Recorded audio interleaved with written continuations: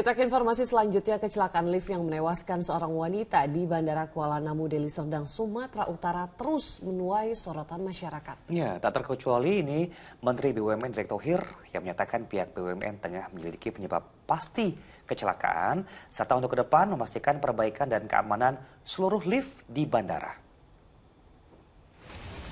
Kasus tewasnya seorang wanita Aisyah Sinta Dewi Hasibuan yang terjatuh dan jenazah ditemukan di dasar lift Bandara Kuala Namu jadi sorotan publik.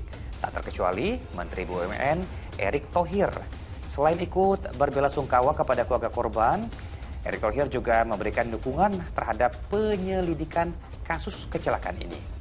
Menurut PT Angkasa Pura II Aviasi, perusahaan yang bernaung di Kementerian BUMN bertanggung jawab terhadap pengelolaan lift bandara tersebut termasuk seluruh perbaikan dan keamanan lift Bandara Kuala Namu. Saya berturut berduka cita yang sangat mendalam dengan kejadian yang ada di Kuala Namu. Karena itu saya mendukung proses investigasi.